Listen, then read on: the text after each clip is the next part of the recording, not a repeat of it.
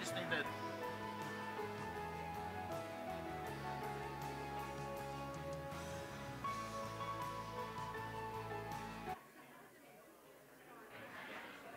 All right, if you make your way to your seats, we're going to go ahead and get started this morning. Good to see everybody. So, good morning. Hey, good to see you all here this morning. If you wasn't with us last night, uh, we had our Valentine dinner. Had a wonderful, wonderful time together. I appreciate all of those who made that uh, a success. But uh, thanks again for being there. And I'm glad that you're back this morning. I know some of you are a little hungover after all of that, but uh, not really, not really, not really. Uh, bad choice of words? Oh, okay. there was no drinking, no drinking, that's right. Hey, just to make a few announcements uh, this morning, uh, next Saturday, uh, Mr. Hewlett Conley is going to be leading the charge. Our men and boys are going to be coming together for what we're calling Kite Day. We're going to build kites on next Saturday. Then starting at 10 o'clock. Is it next Saturday or the week after? February 25th. When is that? Two Saturdays from now. Thank you. Not next Saturday, but February 25th. No, it, they did open it up to young girls too. Yeah, yeah, and older girls. Yeah, so anyone can come to this, but we're going to build kites together and fly those kites together. So uh, it's not just for our church, but open to anyone uh, that you want to invite to come and be a part of that. So it's going to be February, February 25th at 10 o'clock in the morning. Our ladies' Bible study will continue this week. What are y'all studying, Miss Ann? Okay, it says you got new books coming. we're going to do philippians and colossians combination Oh, Philippians and Colossians. All right. So y'all meet at 10, 10 o'clock on this. baked potatoes Tuesday. Baked potatoes. Okay. All right. For lunch. Good deal. Okay. Um, Kevin just informed me, and I already knew this, but he reminded me that uh, we will not be having volleyball this week because we have other activities that are going on that's going to interfere with that. So just wanted to let you know about that. If you are a guest this morning, we certainly welcome you. And uh, we're glad that you're here uh, in the pew or nearby you. You should find a guest card. If you would take that and fill that out for us, and then at the end of the service, you can give that back to us or drop it in one of our offering boxes. Uh, that would be fine as well. All right, let's all stand to our feet. Oh, I'm sorry, Miss Sherry, you have an announcement? I saw that. Hold on, hold on.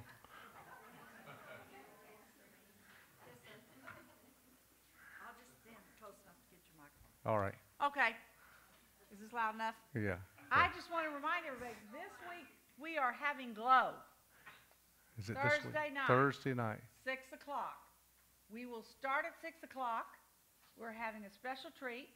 My next youngest sister, Connie Hall, will be teaching us about being daughters of the King. And our, we will begin right at six o'clock. So come early, check in, be ready It's going to be great. Will there be food? There will definitely be food. Okay. We'll make sure.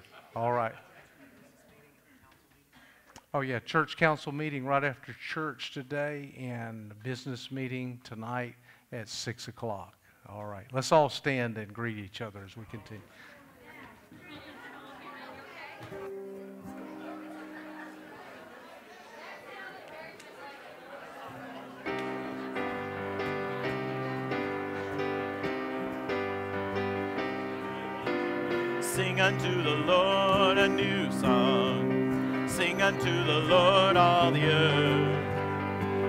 Unto the Lord a new song. Sing unto the Lord all the earth. Sing unto the Lord a new song. Sing unto the Lord all the earth. Sing unto the Lord a new song. Sing unto the Lord all the earth. For God is great and greatly to be praised. For God is great and greatly to be praised. Unto the Lord a new song. Sing unto the Lord all the earth. Sing unto the Lord a new song. Sing unto the Lord all the earth. Sing unto the Lord a new song. Sing unto the Lord all the earth. Sing unto the Lord a new song. Sing unto the Lord all the earth. For God is great and greatly to be praised. For God is great and greatly to be praised.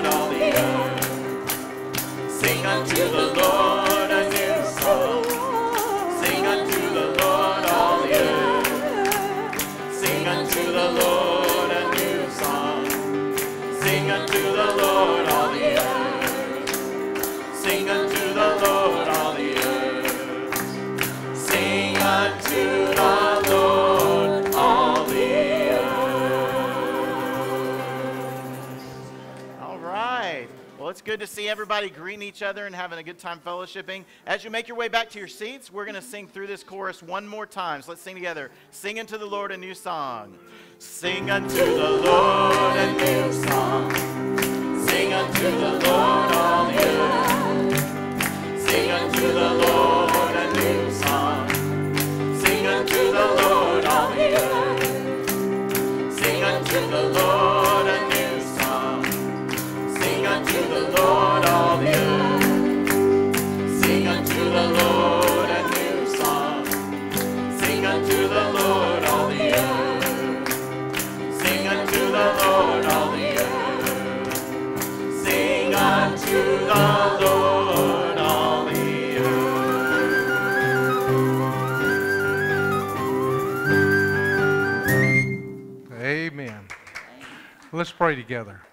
Father, we thank you for the day you've given us. Thank you for all your blessings, and we welcome you in this place. God, we're just so glad that we can come together as, brothers and sisters in Christ to worship you today.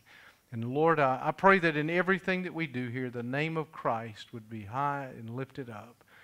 Lord, uh, just begin to work in the hearts and lives of every person that's here. And maybe even today, Lord, there's someone here that has never trusted Christ. I pray, Lord, that you would help them to see, Lord, their need for a Savior. I pray that they'd be saved today. God, we, we love you this morning and we worship you. And we just want to praise your holy name. For it's in Jesus' name that I pray. Amen. Amen. We are glad that you're here to worship with us today. Uh, we're gonna, if you're able to, to keep standing. Let's just keep standing as we serve the Lord together. We're going to start with "Blessed Be the Name," and uh, we'll sing that as praise to the Lord.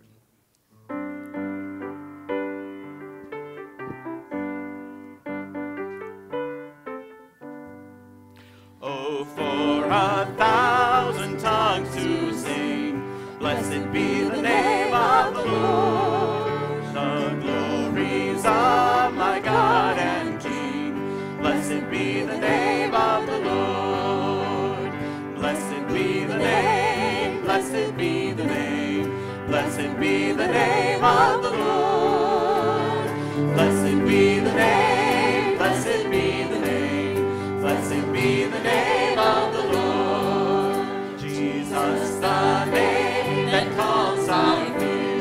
Blessed be the name of the Lord.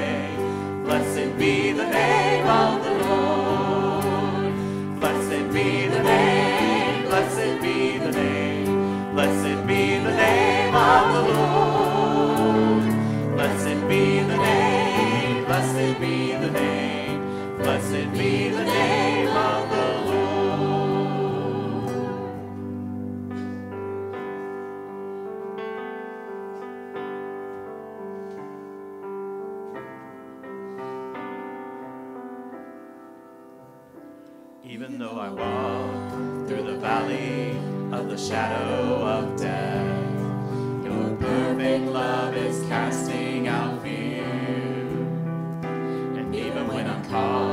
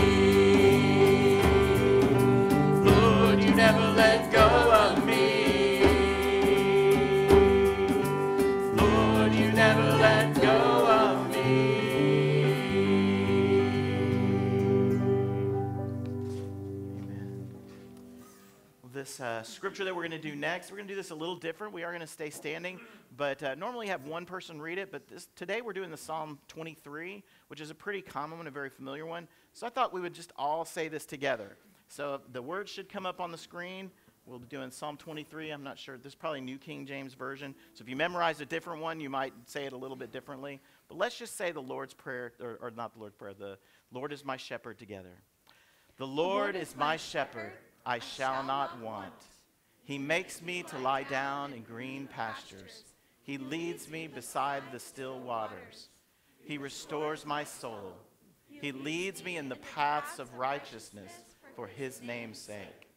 Yea, though I walk through the valley of the shadow of death, I will fear no evil, for you are with me. Your rod and your staff, they comfort me. You prepare a table before me in the presence of my enemies. You anoint my head with oil. My cup runs over. Surely goodness and mercy shall follow me all the days of my life, and I will dwell in the house of the Lord forever. Psalm 23, 1 through 6. Amen. You may be seated. This next song we're going to do is a song the choir did last week, but it's going to be new maybe to some of you. So I'm just going to teach it. It's called The Goodness of God. And it just talks about how much God loves us and how His goodness is chasing after us all the way, and we can always depend on Him and His goodness. So I'm just going to play through the chorus so you can hear how that goes. It goes like this. And all my life you have been faithful. And all my life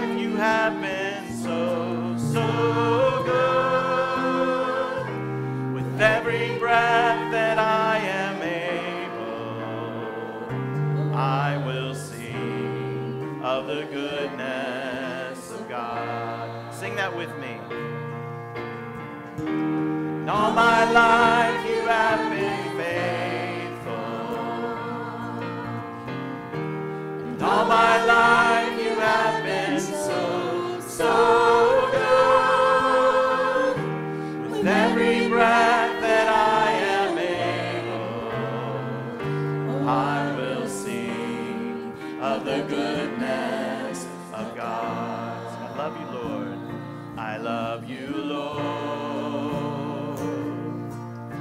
Your mercy never fails me.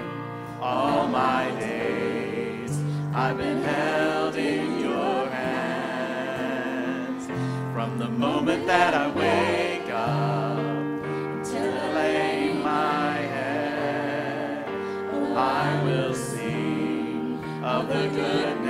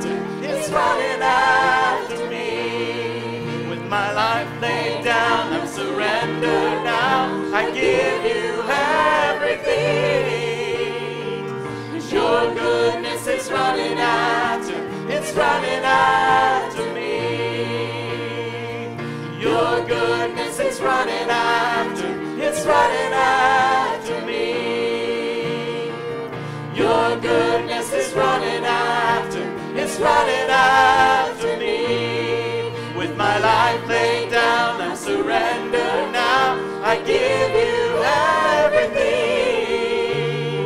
Cause your goodness is running after, it's running after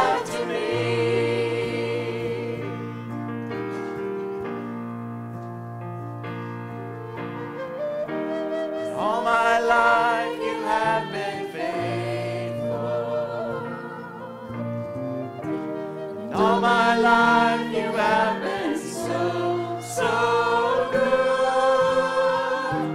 With every breath that I am able, I will sing of the goodness of God. I will sing of the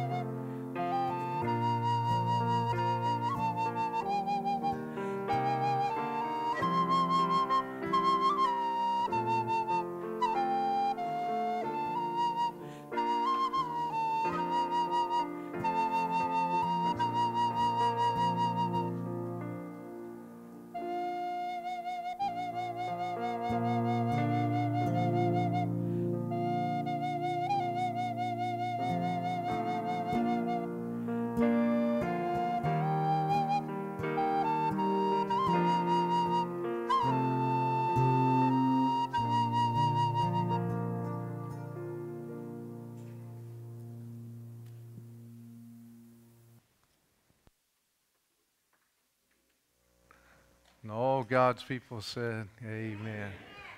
Amen. Praise the Lord. Marcia is going to share with the church for just a moment before we get into today's text.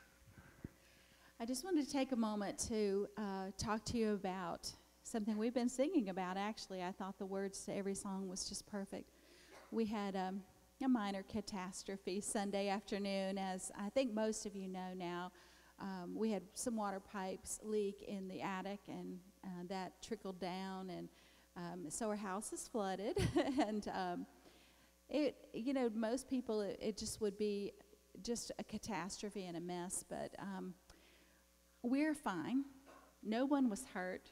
We have insurance. I mean, I think everybody does, and so it's all taken care of. And, you know, we're, so many of you have offered your homes, extra places, and we appreciate it so very much.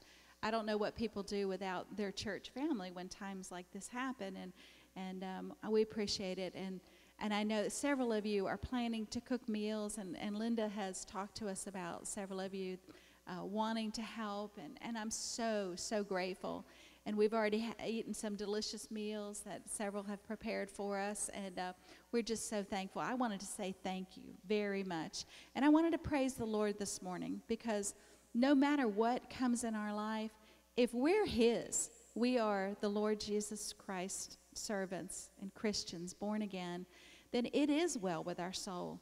No matter what happens to our body physically, no matter what happens to our homes and the things around us, it doesn't matter because it truly is well. And Alan and I are at peace, and Satan didn't get that victory. Praise the Lord. Amen.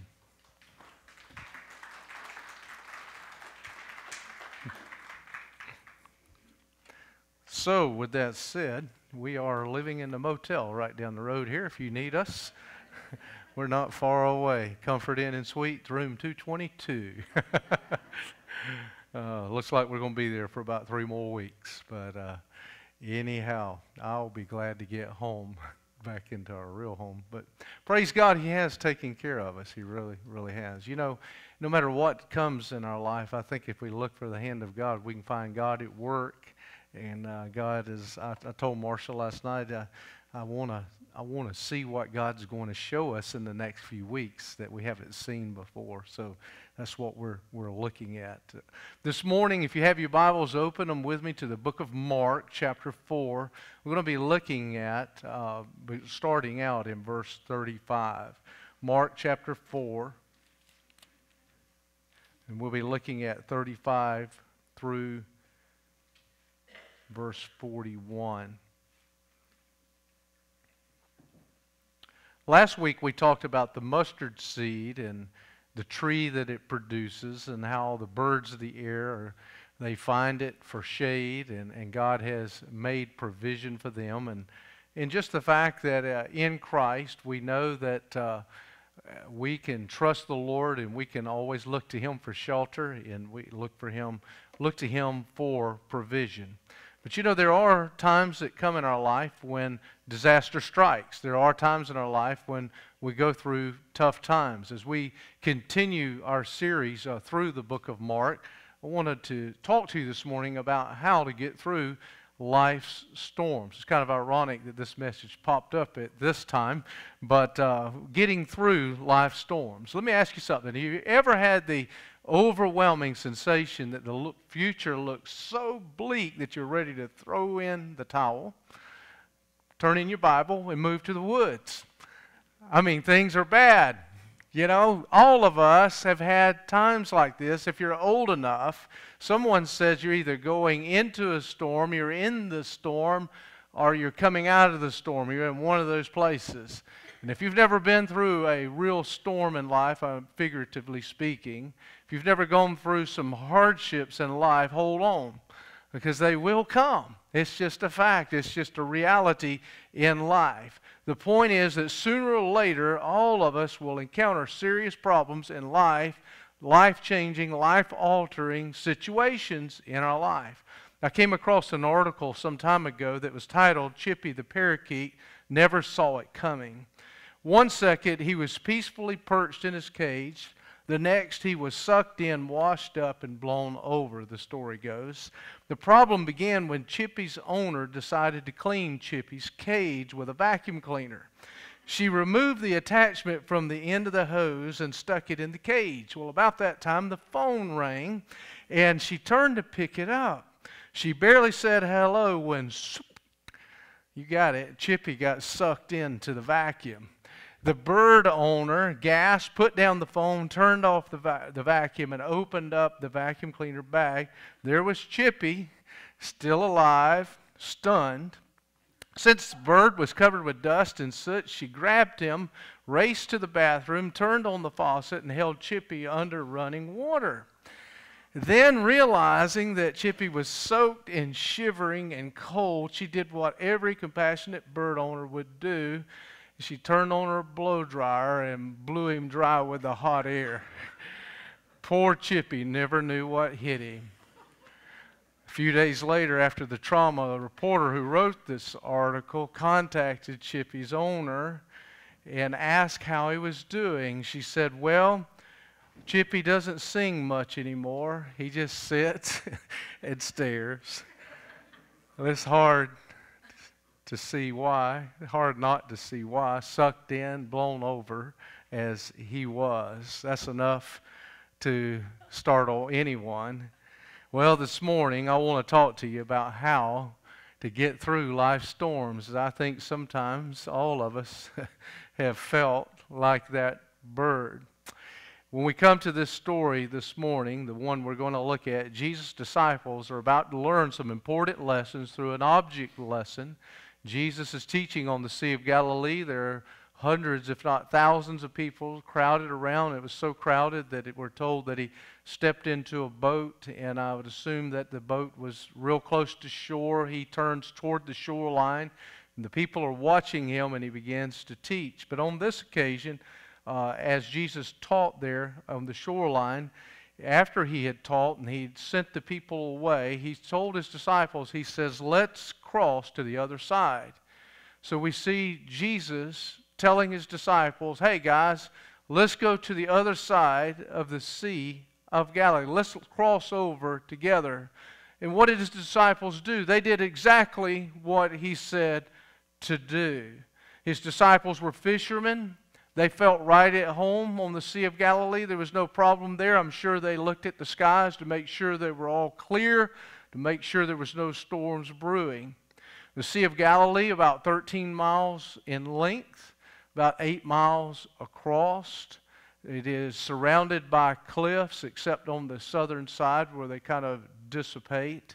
But the disciples of Christ did not hesitate to do exactly what Jesus asked them to do. He said, Boys, let's get in a boat and let's go to the other side. Jesus Christ, the Son of God, God in the flesh, said to his disciples, Let's get in a boat and let's cross over this sea. With that, let's stand in honor of reading God's Word as we look at Mark chapter 4, beginning with verse 35. The Bible says, On the same day when evening had come, Jesus said to them, He said to them, Let us cross over to the other side. Now, when they had left the multitude, they took him along in the boat as he was, and other little boats were also with him. And a great windstorm arose, and the waves beat into the boat, so that it was already filling. But he was in the stern, asleep on a pillow. And they awoke him and they said to him, Teacher, do you not care that we are perishing? Then he arose and he rebuked the wind and he said to the sea, Peace, be still. And the wind ceased and there was a great calm. But he said to them, Why are you so fearful? How is it that you have no faith? And they feared exceedingly and said to one another, Who can this be that even the wind and the sea obey him? Would you pray with me? Father, I pray that you'd bless and honor the reading of your word here today. And God, I know that as we stand in this auditorium together, there are some who are here who are going through some very real storms in their lives. God, you know the heart of every person that is here today. And God, you know exactly what's happening in their lives today. I pray for them, and I pray, God, that you'd speak to their hearts. And I pray, Lord, they would lean upon you in this time in their lives. God, just speak to all of us. Teach us. Help us to learn more about you. That God, we might be faithful and obedient as we await on your return. For it's in Jesus' name that I pray. Amen and amen. You can be seated. What can we learn from this story? Well, obviously, we learn from this story that storms will rise. And if you go to Israel and you're on the Sea of Galilee, and they'll tell you this, that you know that this is something that is common. See, the storms blow up over the Sea of Galilee and without a lot of warning. So you could very easily get caught in a storm such as the disciples and Christ had gotten caught in that day. It can be absolutely clear skies with no threat of storms, but then just over the mountaintop, the storms brew and they begin to sweep down on that sea, and violent waves will begin to, to wake through the sea. But the disciples were doing what Jesus Christ asked them to do. In verse 36, the text tells us now, when they had left the multitude, they, they took him along in the boat as he was. Jesus said, Let's go, and they got in the boat and they did exactly what he wanted them to do. I'm sure that they were excited. You know, they'd been with the crowd, so this is a time once again to get along with Jesus, to be with the Savior. So they're crossing over together. But the point is, is that they were right where God wanted them to be. They were right in the center of the will of God. He said, Let's get in a boat and let's cross over and go to the other side. Now, there were others that would cross with them. I'm sure they were excited about this crossing. You know, oftentimes, while we're in the center of the Lord's will, storms brew in our lives. As a matter of fact, I would say to you that if you're doing exactly what God wants you to do, you're probably going to face more storms than if you were to lay back and relax, get out of the will of God, if you will. You see, when uh, so many times that we find ourselves in the will of God, God has led us to do a certain thing, and then what happens? I mean, we get smacked down. Something happens, something arises, something comes in our life, something that we do not expect. Storms come in our life, and yes, it even happens when we're doing the will of God. Again, remember, these men were fishermen. They knew the sea like the back of their hands. Uh, they began to look around and come, when they got near the middle of the sea, I'm sure they began to see the storm's clouds begin to rise, and they probably thought we're in trouble. They've, they, they saw the storms coming, and then in just a few moments they would feel the storms as the storms began to rage. Now, I don't know about you, but I've been in a boat in the sea when the sea was raging like that, and it's not a fun place to be. It was just it could have been just a, a little cloud that they saw at first, but it quickly developed into something major. And it was no fun for them at that time. And it's obvious as you read this sto- story, because they were afraid for their lives. Now, this sea, the Sea of Galilee, doesn't look very large, and you would think that, you know, why would they be so scared? I mean, you can see the shoreline from the center all the way around. You can see the shoreline as you, as you look out. But I promise you, on a calm day, you would never be able to make it to the shoreline. There's been a lot of boats that have been lost in the Sea of Galilee. Many have perished through the years. What I want to say to you this morning is this that I don't care what the TV evangelists say to you on the TV, if you're in the center of the will of God, you can expect storms to come. They may tell you differently, but storms will come and you can count on it. Storms will rise in your life. And I think that if we know that and we expect that to happen as believers in the Lord Jesus Christ, even though we might be in the will of God, we're going to better be able to deal with the storms of life when they come. Secondly, this morning, when the storms come, you will feel the waves. You will feel the waves. You see, when it's rain, when it rains, what happens? You get wet. When it rains, you get wet. You will be impacted from the storm. So often, when it rains, it pours in our life, figuratively speaking. This rain was filling up the boat. That is, the boat that the disciples and Jesus were in. The waves were crashing into the boat, the boat was rocking back and forth, ready to sink. They're afraid for their very lives. I would imagine the disciples were bailing water as fast as they could to keep the boat afloat. After all, they're taking care of Jesus who's asleep back in the, in the back of the boat. They don't want anything to happen. So they're frantically trying to get water out of the boat. As I thought about that, I thought about how we are in life. We're the same way many times. The storms rise in our life, and what do we, we get frantic? We begin to bail water as fast as we can and try to get out of the situation that we find ourselves in. Verse 38 says about Jesus, but he was in the stern asleep on a pillow. What? Are you kidding me? If you, you've been in boats before, how can you sleep in the middle of a storm? But Jesus doesn't have a care in the world, does he? I mean, he's, he's relaxed. He's in the boat. Of course, he's God. He knows everything's going to be okay. They're the ones who are frantic.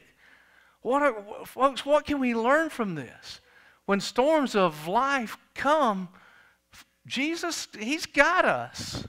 Everything's going to be fine. I mean, he's not in a tizzy, he's not in turmoil over what we're going through. He sees what's going on in our life. Yeah, but many times we try to bail water. We try to take things in our own hands and, and we try to work frantically to get ourselves out of the situation that we might find ourselves in when we have the Lord with us all the time. No matter what you're facing this morning, no matter what you're going through, I want you to know something. There's hope in Jesus Christ. No matter what you're experiencing in life, you can count on it. There's hope in Him. But oftentimes we respond to the trials of life in a frantic way and in a way much like the disciples were. They feared for their very lives. Let me ask you this morning what are you going through? What are you dealing with this morning? What storm has come in your life? What are you, you facing? Maybe you're not facing a storm as such. Perhaps it's just mental turmoil, emotional baggage. Maybe something, something like that going on in your life that you're trying to deal with. It could be physical. What are you dealing with? Can you find peace and hope in Christ? I think so. I think we find this example in this text. Jesus had everything under control, even though they thought all hope was lost. I want you to know something, folks. All hope is not lost if you're in Christ. You have the hope the hope of glory, the Lord Jesus Christ. And there is nothing that you're going through or you're experiencing that He can't help you through. Does it mean that He's always going to remove the storm? Absolutely not. Some people go to their grave in the midst of those kinds of storms. But God will give you the strength, God will help you through. Notice in this story prayer happening. Look at verse 38. But he was in the stern, that is Jesus, asleep on a pillow. And they awoke him and they said to him, Teacher, do, do you not care that we are perishing? You could say they're praying. They're talking to God. They're talking to Jesus, right? They're talking to Him. They're, they're, they're doing what we would call praying. You ever had somebody say, don't, you don't ever question God? The disciples are. They're like, do you not care? Have you ever been there? Have you ever got on your face before God and said, God, why is this happening to me? I think if you're human, there's going to be times in your life where you ask that question. I do. Lord, why is this happening? And when you ask that question, prepare yourself because He may answer. He may tell you, He may reveal to you exactly why it's happening. But they begin to pray. I want you to notice here three reasons why we should never worry or fret in the middle of the storms. First of all, the disciples had Jesus' promise.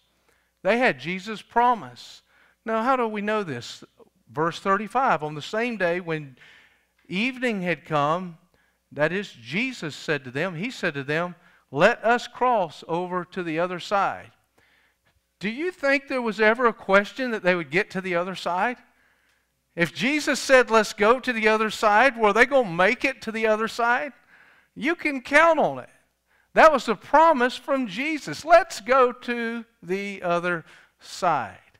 So, for you and I, we have the Lord's promise as well. Jesus said that He would never leave us nor forsake us. Do you believe that this morning? He, he will never leave us or forsake us. He is always with us, even in the midst of our storms in life. So we can count on that promise. The Bible says, O Lord my God, in thee I do, do I put my trust. Save me from all of them that persecute me and deliver me.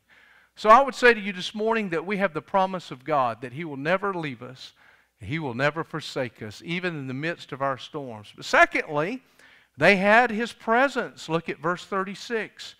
Now, when they had left the multitude, they took Him along in the boat as He was, and other little boats were also with Him. So they had the presence of the Lord they had God with them in the boat. He was in the boat with them. He was the one who created the sea. He was the one who allowed the storms to come upon the sea. Folks, if you know the Lord Jesus as your Savior, He is with you. You have His presence. We not only have the promise that He will go with us, but we have the promise that He will be with us. I'm reminded of the Apostle Paul as he preached the gospel and he was getting ready to go into Corinth. The Bible says that he was fearful. There was something going on in Paul's life. And the Lord Jesus Christ himself spoke to Paul and he reminded Paul, he said, Paul, I am with thee. Isn't that a wonderful promise this morning? Just as Jesus was with Paul that time before he went into Corinth, he could, you can claim that for yourself that he is with you. Jesus Christ is saying, I am with you. Jesus is with you. But I want you to notice also that they had his peace. Look at verse 38 again. And he was in the stern, asleep on a pillow. He was certainly at peace. And they awoke him, and they said to him, Teacher, do you not care that we are perishing? Then he arose, rebuked the wind, and he said to the sea, Peace, be still. Jesus slept, folks, not because he didn't care. It's because he had perfect peace. He was at complete peace. Jesus was resting because he was in complete control. Jesus, folks, is in complete control of your circumstances as well. I want you to know something. There's nothing that comes in your life that he has not allowed to come in your life. Does he make all things happen, even bad things and sinful things to happen? No, not at all. But we do we do know that as a result of sin, we feel the impact of it and we face certain things in our lives and things that are not always good, but God could stop it at any time if He chose to. But we just have to trust Him and know that He's in control, that He's at work. Perhaps He wants us to learn something. In the midst of the storm, we can rest that God is in control and that He will prevail. But we must look to Him for our peace. He is our peace, and He is our only hope. He's the one that can bring calm to the storms of our life. And then the third thing I want you to see from this story is Jesus does calm the storm. Look at verse 39 again. Then he arose, he rebuked the wind, and he said to the sea, Peace, be, be still. And what happened? The wind ceased, and there was a great calm over the sea. How do you think the disciples were feeling then? I mean, the sea's raging. They've seen this happen before, but now the sea is just as slick as glass after Jesus spoke to the sea. Jesus got up, the Bible says. He arose and he said, Peace, be still. You know, every time Jesus gets up, something happens. and you look at the Bible and you read what the Bible has to say. I, I was reminded that he arose and he cast out a demon from a woman's daughter. We're told that, that he, when he went into Simon's house, that he, after he arose, that he healed his mother of a high fever. And then, of course, we know that Jesus arose after being sacrificed, after he went to the cross. After three days, what happened? Jesus arose. He blew that door off and he walked out of that tomb. What a miracle that was. Folks, because he lives, we can face tomorrow. Because he lives, we can face the storms of life. Jesus spoke to that sea, said, Peace be still. And I want you to know something. Jesus can speak peace into your storm as well. Even if the storm doesn't leave, He can speak peace into the storms of your life. The disciples did not make it, or the disciples did made it in the Sea of Galilee. They made it through to the other side. And what I want to say to you as well is you will make it too. Because you can trust the God of peace in bringing you through. Jesus said this in Matthew 11 Come unto me, all ye that labor and are heavy laden, and I will give you rest. Take my yoke upon you and learn of me, for I am meek and lowly and, uh, in heart, and ye shall find rest unto your souls. For my yoke is easy and my burden is light. What are you dealing with? What storms have come in your own life? Do you know what my favorite verse is in all the Bible? It's actually many verses. I was looking this week, it's repeated 463 times. And it's not a complete verse, it's just something that is often repeated over and over in the Bible. You're not going to believe this, but it just simply says, and it came to pass. And it came to pass over 463 times in the Bible. You're going through a storm. One day, more than likely, you're going to look back and you're going to say, and it came to pass. You lived through it. You made it through once again. And guess what? Even if you didn't, it's going to come to pass. Because one day we're going home to be with the Lord. Amen? So, no matter what we face in this world, we know this is not the end. We know that there truly is light at the end of the tunnel, and that's glory, that's heaven, where we're all headed and where we'll all be one day. Some of you are coming out of the storms of life, some of you are right in the middle right now, and your life is in turmoil. But some of you are about to go in. Storms will rise, you will feel the waves, but Jesus can calm the storms of your life. I'm reminded of the fig tree that Jesus commanded to wither, and it withered away. Jesus commanded the storm to stop. But you know what? He never makes us do anything. He always gives us an invitation and gives us a choice. So this morning, as I stand here, we can choose to not allow God to work in the midst of our storm, or we can walk away and continue in the turmoil. Or you may be here and this morning, He will allow you to walk away without knowing Him. Everything else, as we read the Bible, He commanded nature, and nature had to listen and respond. When he commanded, people were healed. But he never forces us to do anything. He gives us a choice. And for some of you this morning, he has brought you to this place because he wants to give you another opportunity, another chance to make the right choice. And that's to trust him as Lord and Savior of your life. The Bible says that all have sinned and come short of the glory of God. That means every one of us have come up short. And the Bible also says that whoever calls on his name will be saved. So you can make that choice this morning. You can turn to him for salvation and for forgiveness of sin, but the choice is yours. It's a choice that only you can make. So, what's going on in your life this morning? Maybe you need Christ for salvation. Perhaps this morning there's a storm brewing in your life. Will you continue to go on like you're going on? You're just bailing water? Are you ready to just wholly, completely give it to Him and say, Lord, I know you can bring peace to my storm, and I need peace right now. What about it? Would you bow your heads? Heads are bowed, eyes are closed. Christians are praying.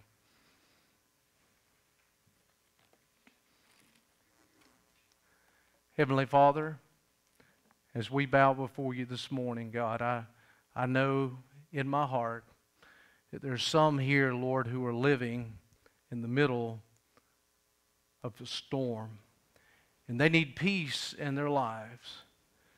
I pray, God, that you would grant them the same kind of peace that you gave the disciples that day in the storm on the Sea of Galilee. God, I pray this morning that if there's somebody here that's lost that has never made a profession of faith, they've never cried out to you for salvation, I pray, Lord, that they would true, truly choose you today, that they would come to you for salvation. Oh God, how I pray that you would bring peace to everyone in this auditorium, Lord. Oh God, speak to hearts even now. For it's in Jesus' name I pray. Amen and amen. Let's stand together.